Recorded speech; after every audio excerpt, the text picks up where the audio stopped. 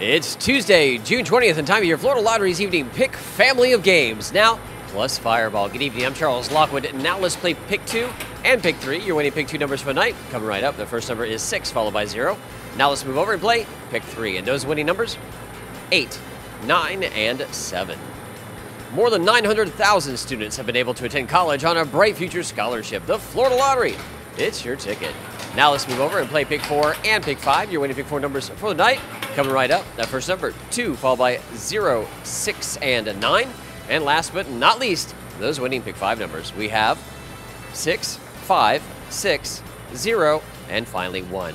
Now for tonight's fireball number, good luck everyone. It is one and applies to all pick games. Once again, Florida, good luck. Let's take another look at tonight's winning picture on numbers.